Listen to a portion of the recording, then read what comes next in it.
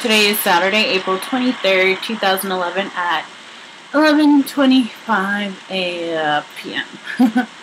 um, so I want to touch on the sleep apnea thing. And I got a call on Thursday um, from the place where I had my sleep study on that thing that device came from. And they were like, we have a prescription for something something. Um, we'll see if you're, we're waiting to hear for your insurance if you're going to receive, for, for benefits. Um, and we will call you back. Uh, I just kept saying, okay, okay. But I, I had no idea what she was talking about. And then she had a thick accent, and I think she was Hispanic, and I wish she would have spoken in Spanish instead because um, me and accents just don't go well, and if you just speak in Spanish, I'll be fine. um, but then, and I didn't know what was going on. Um, I was like, wait, what? They already sent me the sleep study thing. Um, and she's like, yeah, yeah, we but we got your results and blah blah blah, and we have a prescription for you to have a device. And I was like, um, what are you what are you saying? Like, I mean, I haven't spoken to the people at True Results, and um, I had no idea, you know. Um, so I do have sleep apnea, and I guess I just didn't want to come to terms with it and then whenever I got that call, I decided to Google search sleep apnea, and it said most people who have sleep apnea have no idea they have sleep apnea, and I, there you go. I have sleep apnea. Um, but that's okay, I guess. The device, I, I Google search that too. I Google search everything. Um, yeah. Um, the device is weird, and I kind of don't want to wear it. It's like this thing that goes like this, and it looks like you're fucking dying or something. I don't know. So, this week, I had a, scheduled my appointment to get my blood work done. And I went to the place. They looked up my information. They said they had no orders for me. And it kind of pissed me off because I had made the time to go to this place, um, and they didn't take they didn't take my blood. Take my damn blood, you know. And so I don't know. I emailed my patient advocate, and I hope she emails me back by Monday. Um, I've been trying to learn more things about the lap band um, before going into it. And before I even decided to go visit True Results, I um, I didn't really think about it too much.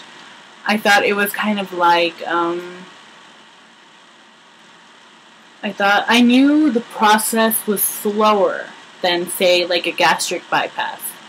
Um, but I didn't know the specifics of it and the different things you had to do um, to work with it and um, etc. well, I have been watching a lot of um, YouTube videos, and one one specific or two specifically is the Sky Moon and um, I've been watching Banded Wendy, and I've been watching. It's eleven thirty. I started to watch Banded Wendy. Um, like I went all the way down to two years ago, from the beginning, um, because I kind of wanted to go through it as if she had just gotten it, so I can know like from the start to end to finish to now, um, how it is and her progress and everything, and um, it's very interesting to know that each doctor has different orders. Um, she only had like 10 days of um, pre op liquid diet. Um, and then she eats, she went through the phases. There's three phases that you go through. I can't, I don't think my folder is around here. Um, there's three phases that you go through. Um, first, it's all liquids, clear liquids, then uh, post op. Um, clear liquids, then um, mushy stuff, and then soft. I don't know. Anyway, it's three stages, and it's every week you go through a diff- through a different stage. That's how my doctor has it set up. Um, but her doctor um, like after three days, she was off of the liquid diet and onto the next and onto the next one. Um, and I don't know what the difference is.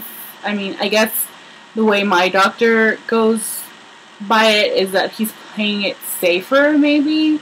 Because um, also, he says no bananas, and she was eating bananas, and she was eating bread and she's allowed to eat um, white bread, and I'm not allowed to eat white bread ever, um, white flour, anything. Um, and the whole wheat stuff is until three months from the operation. So, I don't know. Um, and then I was watching another guy, I think his name is Bandit B, and he's from Houston. And he said that he his doctor didn't even put him on a clear liquids diet, on a liquid diet before the operation. Um, which is interesting. Um, I know that some people go three days, seven days, whatever, um, but not one that's never had um, any pre-op, whatever. But he said that he wanted to kind of do it because he's gonna go from eating Fogo de Chão, um, this I don't know South American restaurant here, um, to just having liquids, and it's kind of gonna be like a weird thing to transition to, like from one thing to the other. Um, but yeah, and Banded Wendy has talked about food choices and the importance of protein. And the doctor, the nutritionist, um, said that you should always eat your protein first, um, no matter what.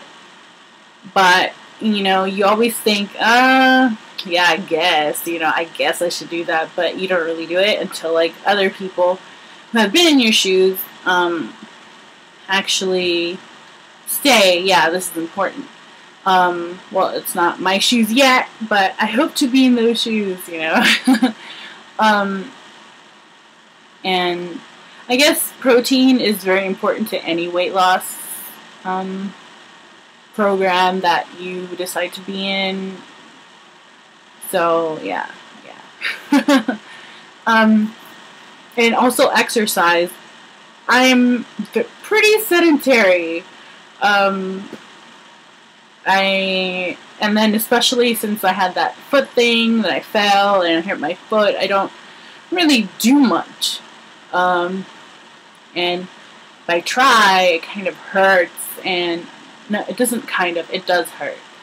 Um, and I wonder what I could possibly do to bypass that. And I was thinking about it. Um, that um, I'm only going to have, from what I want to plan out, I'm only going to have a certain number of um, weeks before I have my foot surgery, and that's going to put a stop to the exercise. So I gotta have to get some exercise in. You know, try to put that mental state in me that I need to get some exercise in. Um, also, I'm pretty scared. I'm scared that I, I'll fail, and I'm really anxious, but I'm also excited. I, I want to do this. Let's do this. You know? Now!